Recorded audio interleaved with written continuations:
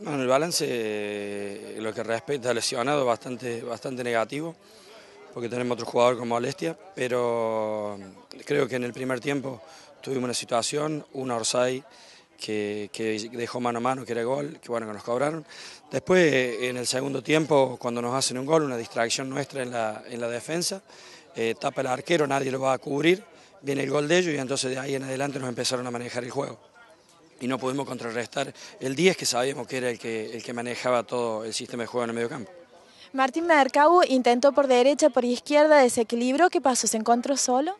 No, lo que pasa es que yo lo que le pido a Martín, como le pido el enganche, es sí que me la suelte más rápido. Por ahí trasladábamos mucho y, no, no tenemos que tirar la pelota rápido para volver a buscar la marca. Bueno, no se logró, es decir, eh, lo iremos corrigiendo durante la semana para tratar de mejorar todo lo que hoy se hizo mal los errores que hemos cometido, a veces pelotas que venían para el medio, que tenemos que salir jugando por el afuera, que uno le pide lateralizar el juego, es decir, terminamos centralizando donde eso nos terminó perjudicando. Lo que estamos apuntando nosotros es ponernos para el campeonato, esto nos sirve como una experiencia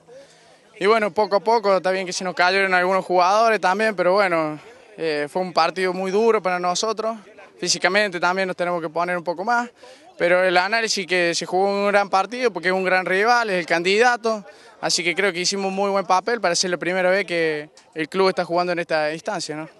Así todo, eh, el desequilibrio podría haber sido mayor si no fuera por tus genialidades. Sí, está bien, uno trata de cumplir con lo suyo, ayudando a sus compañeros. Y bueno, si no estoy yo, está un compañero y es así, todos nos estamos apoyando, estamos tratando de formar un grupo que es a lo que apuntamos nosotros es formar un buen grupo, un grupo humano que nos apoyemos todos y bueno, esta vez me tocó a mí, pero eh, esto es gracias a todos mis compañeros, de todo el esfuerzo que estamos haciendo en la pretemporada, así que si tuve una buena tarde fue gracias a ellos que, que me apoyaron también.